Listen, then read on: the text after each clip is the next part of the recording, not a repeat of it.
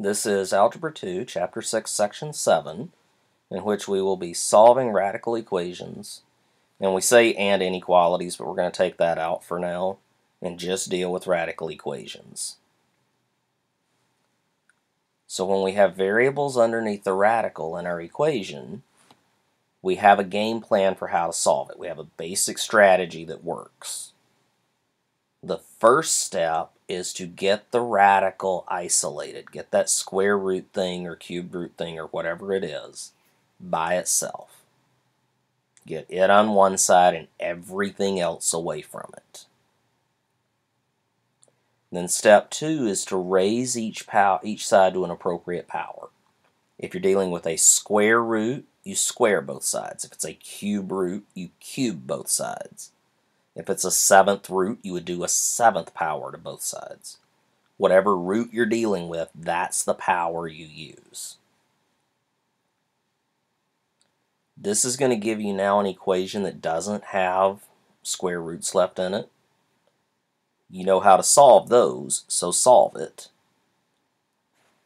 And then, once you've got that done, a lot of people miss this step and they get a lot of problems wrong because of it. You need to check for what's called an extraneous root. It's a root that does not work in the original equation. What happens when you start raising things to powers, sometimes you turn negative values into positive values and you did all the algebra correctly, but your answer is still invalid because you've taken something that was false and then squared both sides and made it into a true statement. So you have to be careful here. You have to check your solutions. If you don't do step four, you're going to get things wrong. I promise you. You'll get away with it sometimes, but you will get problems wrong because you have false answers that you didn't bother to check. So let's solve a few equations here. In our first one, we have 5 equals to the square root of x minus 3 minus 1. We need to get that square root isolated. So that means we need to move the 1 over. I'm going to add 1 to both sides so that now my square root is alone. Since it's a square root, I square both sides. 6 squared is 36, and the square root of stuff squared is just the stuff. Well, now it's easy. Add 3 over, and we get x equal to 39. This is our candidate for a solution. It may or may not work. We have to test it and find out. So if x equals 39, we'll plug 39 back into the equation. And notice I went back to the original. If you go back to anywhere along the way, you might have already turned it turned false to true. So you go back to the beginning. 39 minus 3 is 36. The square root of 36 is indeed 6. 6 minus 1 equals 5. Yep, sure does. So we give it the check mark to show that it worked, and 39 is a valid answer. Okay. Let's tangle with another one. We have a square root of x minus 4 plus 5 is equal to 2. Our job is to isolate that square root, get it alone, so let's subtract the 5 over.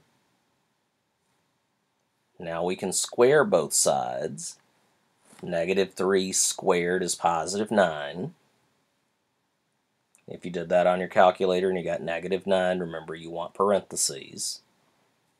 And if you need help with that, just ask and I'll show you what I'm talking about. Add the 4 over, and we get x equal to 13. Okay. We have a candidate for a solution. Let's plug it back into the beginning and see if it's true. 13 squared of 13 minus 4. 13 minus 4 is 9. The square root of 9 is 3. So we have a statement that 3 plus 5 is equal to 2. Not where I'm from, it's not. So we don't give it the check mark. because it wasn't correct. So this solution is a bad solution. We don't have any other candidates for what would be a solution. So nothing works. This problem would be no solution. If all of your candidates are bad, then that means there's no solution to the problem. Let's deal with one that has a higher than square root to deal with, like a fourth root. Okay. Same game plan applies. We need to get the radical isolated. So first thing we'll do is move the 6, and then we'll divide by the 3 to get it down to the fourth root of some stuff equals 2. Since it's a fourth root, I need to do a fourth power. The fourth power of the fourth root of stuff is stuff. And the fourth power on 2, 2 to the fourth power is 16 according to my calculator. Now it's an easy problem. Subtract 6, divide by 2. So now n is 5. We have a candidate. Let's take it back, plug it in, and see what happens. Okay. 2 times 5 is 10, plus 6 is 16. Okay, simplifying this, this arithmetic. The fourth root of 16 according to my sheet from before, is 2. So I have 3 times 2 minus 6 is equal to 0. Well, 3 times 2 is 6. 6 minus 6 is 0. So yes, that's true.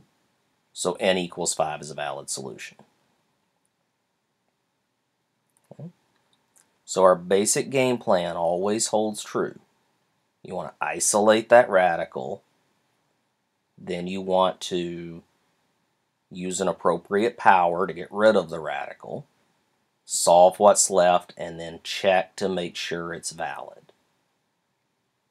Okay. If you had questions along the way, hopefully you jotted those down, bring them in to ask, and we will see you in class.